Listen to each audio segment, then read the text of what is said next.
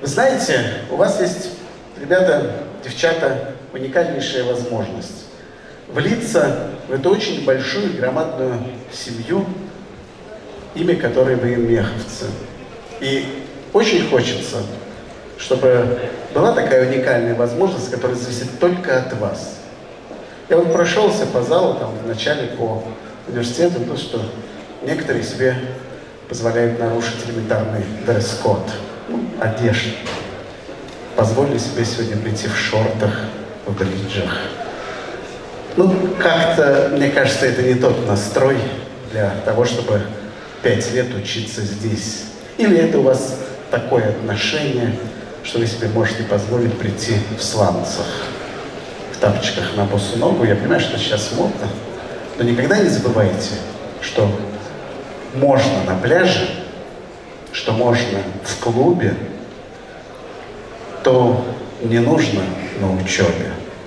Ваша внутренняя готовность учиться, ваша внутренняя готовность через пять лет получить, или пять с половиной лет, у каждого по-своему, получить диплом одного из самых лучших учебных заведений, а я подчеркну, что это действительно так, ни один гражданский вуз не может похвастаться пятью космонавтами, а это чего-то стоит.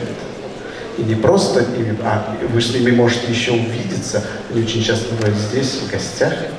Но помните, что это зависит только от вас. Уже никакой школьный звонок вас не пригласит в аудиторию, а только собственный стержень прийти и учиться. Открою маленький секрет. В понедельник военмех ждет почти 1800 первокурсников.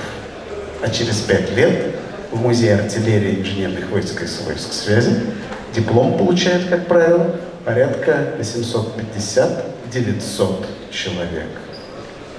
Военмех занимает самое первое место по отчислению студентов.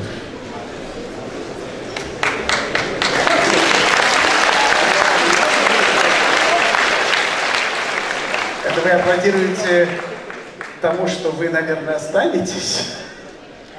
Мне очень хочется верить, что эту статистику вы, именно вы, нарушите и закончит примерно из 1600 первокурсников 1599 выпускников военмеха. Ну а сейчас включайте нам хорошую мелодию.